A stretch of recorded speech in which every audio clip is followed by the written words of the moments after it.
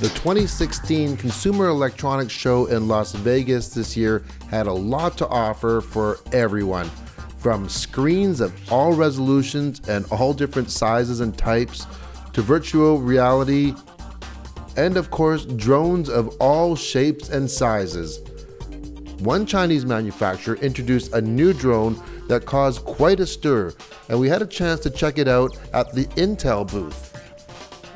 This is the Yuneec Typhoon H.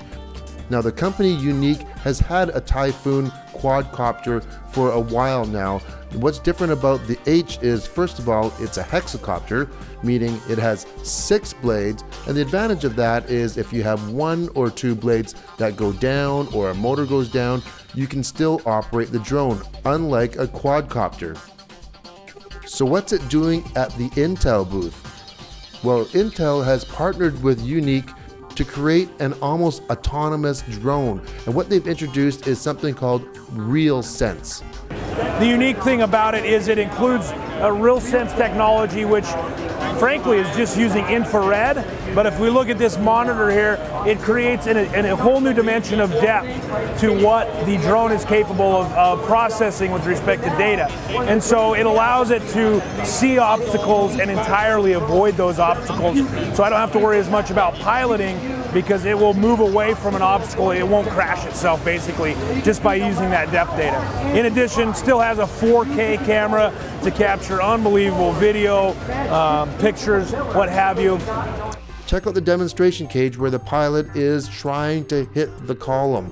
He's got full stick forward and the drone will not go forward and hit the column.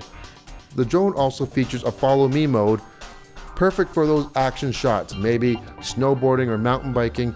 Here it's following the pilot here, he is not controlling it, and uh, it's almost like a game of hide and seek. He can't get away from this drone.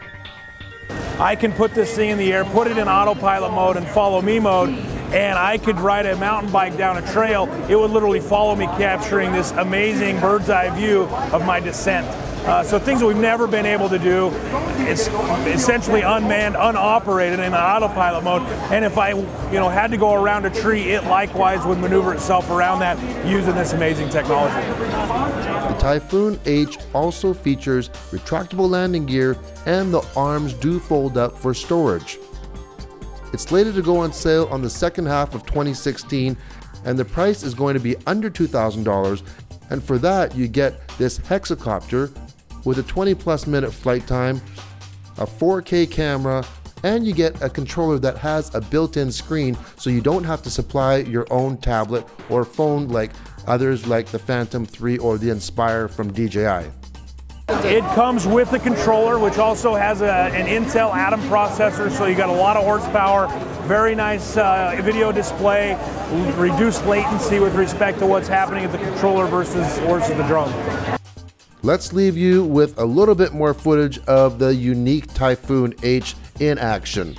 And remember, if you like the video, make sure you hit the like button and make sure to subscribe for more everyday reviews. Thanks for watching.